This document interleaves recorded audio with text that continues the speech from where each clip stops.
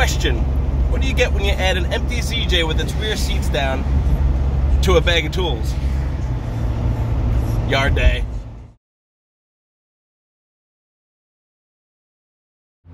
Hey, what's up guys? I'm Dan H and welcome to the project. Today I'm in the General Grievous, seats down, bag of tools. I'm going to the yard. I'm going to pick apart an XJ. It's a new arrival and there's a lot of parts I want from it for Project Police Jeep and for Project Wreck J. So this is gonna be a good day. Hopefully the parts I want are still there. You never know, XJs go fast in the yards these days. So we're on our way out there and uh, we'll check in when I get there. Here we are. We made it. I'm so excited. Beautiful place.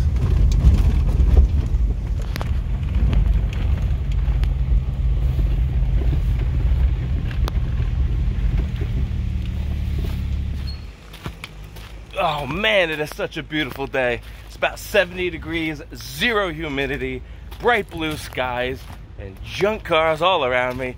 Life couldn't get much better than this. And check it out, guys. Here we go.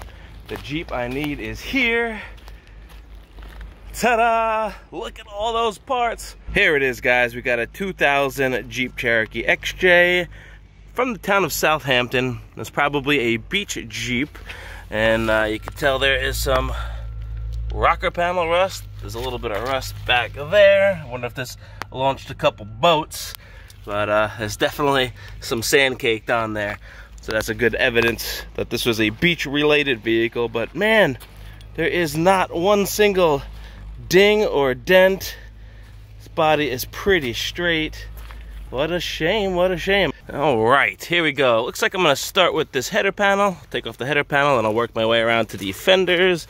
Um, it's in great shape. It's just, it looks like it's been resprayed with some regular chalky white spray paint. Uh, not a fan of that, but whatever. What are you gonna do? We'll make this work. Can you see me? I forgot my tripod like an idiot. What an idiot. So uh, you're propped up in the hood of, uh, yeah, you're in a Camaro. All right, let's get to work. All right, this header panel should only be held on by these four 10 millimeter bolts. I got the corner ones here, and I got two under this one. This one's already taken out. So uh, we'll get this light bezel off. There we go. Headlight bezels have these two tiny little Phillips head screws at the top. Take these out by hand because the hole is very shallow and then uh, comes right out. All right, turn signal lens. Here we go.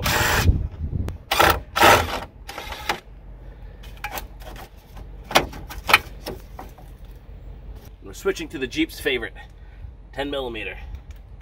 Yep.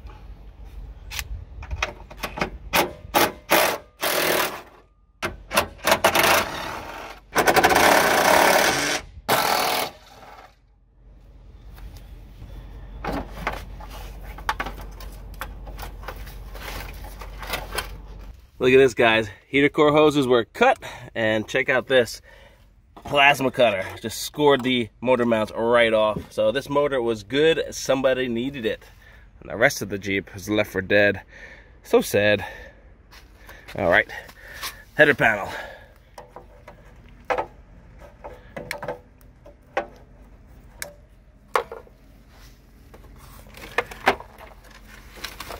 Add this to the good pile. All right, gonna move on to the fenders, but first, while I do that, I'm gonna let some WD-40 soak into these. Oh, we got these door bolts. Now these are T40, I believe, and they suck. Always stripping out. I'd hate to have to cut them off, because that's dangerous. You risk cutting your door. We'll just let these soak for a minute. And we could heat them, whack them with a hammer, try to get them out later after the fenders. Drink. All right, let's get this driver fender off.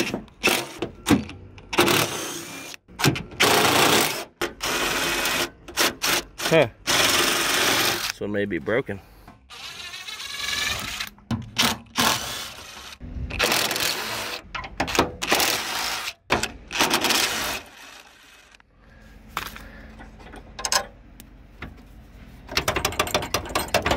Ugh. I'm gonna have to dig a hole to get these. Oh, jeez. I didn't even bring a shovel today. There. Dug a hole with that piece of muffler. Let's see if I can get in here now. Hooey!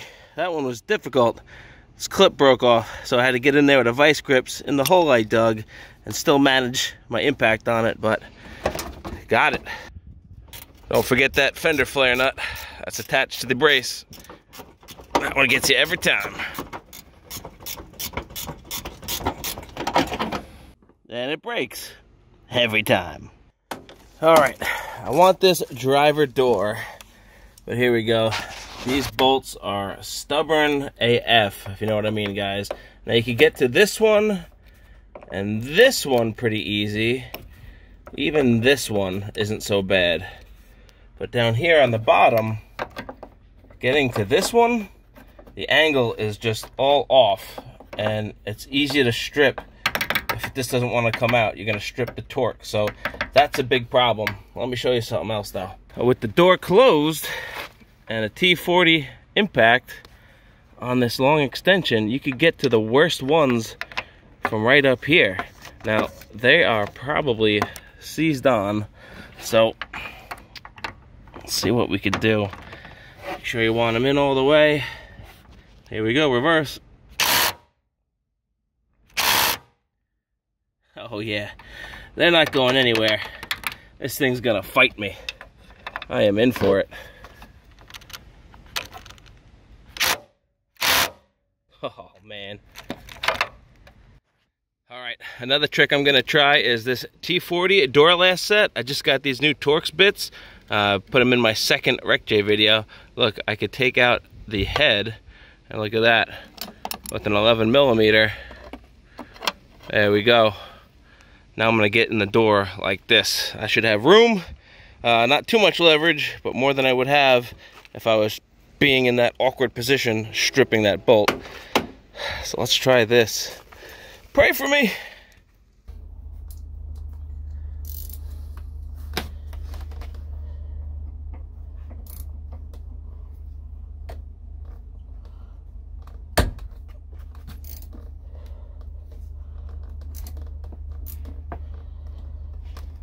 Got one.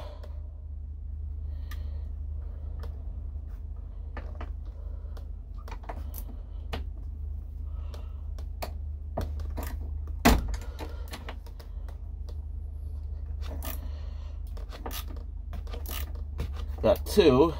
This bottom one is always the worst.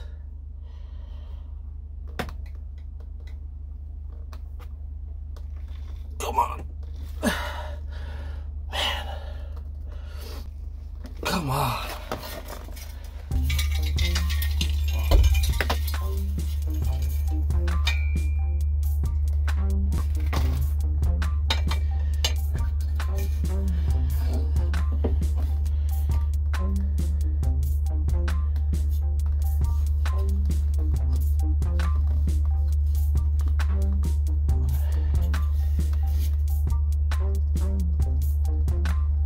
Oh yeah, turning. Ha! Junkyard exhaust breaker bar. Amazing.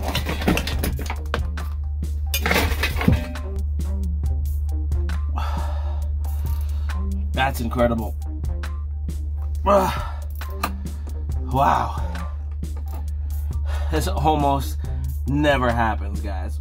Oh, you are in for a treat today. still in disbelief.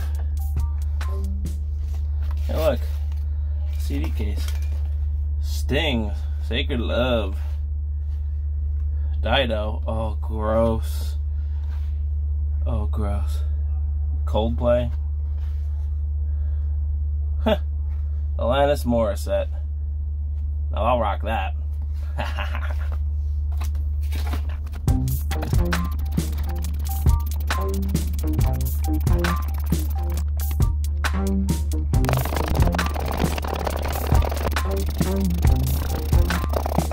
All right, bottom hinge is free. Wow.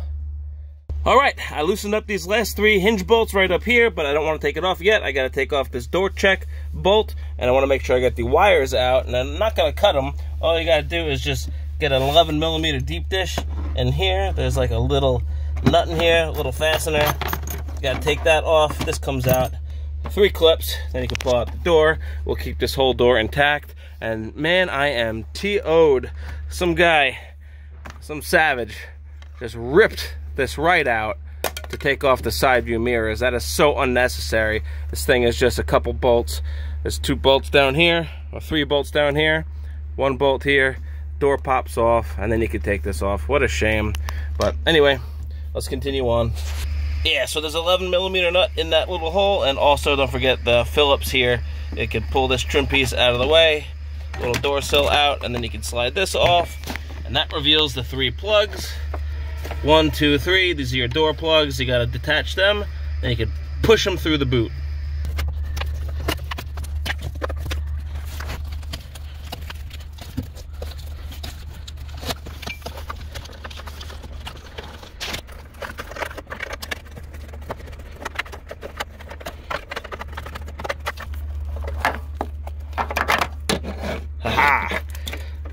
Nice. Somebody welded this on. Jeez.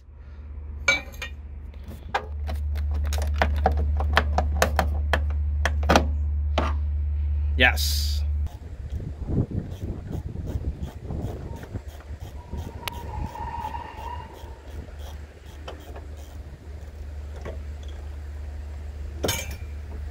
Yeah. That's a win, baby. Woohoo! All right, this is where the door used to be. It is not there anymore. It is in our parts pile. But hey, look guys, there's a really nice steering wheel and a pretty clean dash. This interior was not bad at all. So come on down guys, get yourself some interior parts. Pretty cool. There is our parts pile. This looks like it's gonna conclude our picking of this XJ. I'm not taking the passenger door because there is rust at the bottom. So sad.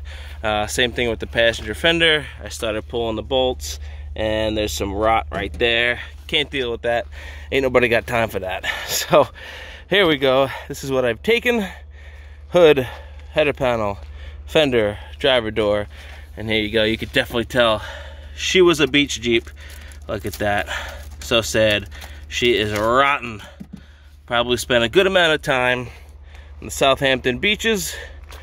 Don't blame you. Nothing more beautiful than a Southampton beach. But yeah, that salt water definitely took its toll. I mean, my goodness. Look at that. Is that a diff? There's nothing left of this pumpkin. it's just scrap. What a shame. Oh well. All right, pretty good score today. Not bad, not bad. Such a shame that uh, XJ's got a bite the dust, but its parts will help other XJs live on. Um, sad, but good. I don't know. Circle of life or what have you. Um, part score. Hey, check this out. Here's the Camaro that was holding the phone for me earlier. Getting those good camera shots. Just wedged it right in there. Sometimes you got to improvise. And uh, man, that pipe, that exhaust pipe, getting the door out, that was a stroke of luck, I guess. Uh, divine intervention, if you will. I used this pipe to dig a hole then he used it as a breaker bar. I guess a good junkyard score is half preparation and half divine blessings. You never know what kind of obstacles are going to be in your way. And when you're bringing a just a pack of tools, yeah, not many options to work with. But we're waiting for a transport. I'm not carrying all this to the counter by myself. Car's going to come pick me up. So let's poke around here for a minute. Let's see what we can find. See what's good out here. Let's see, let's see. There's an 04 WJ. Looks complete. Nice cloth tan interior in there. Oh man, a TJ. What a shame. 2000. Uh, semi rollover, I don't know. Mash. What else? Not many more Jeeps. Oh, there we go. Yowie zowie. Here's that XJ I saw about a month ago during its intake process. Man, this thing took a good bruising. Browch. Brow's gone wild over here. I'm actually digging it. And what are you doing later? I'm kind of seeing anybody else. Oh, Browch. Smashed right in the rear. Oh, yeah. In a bad way, I guess. I don't know. I guess there's no really good way to get bashed in the rear, but that's another story. Moving on now. Let's go over here. And this is a 97 Cherokee SE, I think. It's base, very base. And it's got some damage in the front too. How about that? Everything's smashed on this one. hey, that passenger door looks mint. Might be the only thing good on this whole vehicle. Oh, this passenger fender's not bad either. And the hood, nah, hood's wrecked. That sucks. Oh well, what you gonna do? What you gonna do? Is that a Ram pickup truck? Looking good. Power wagon, even better. Wow.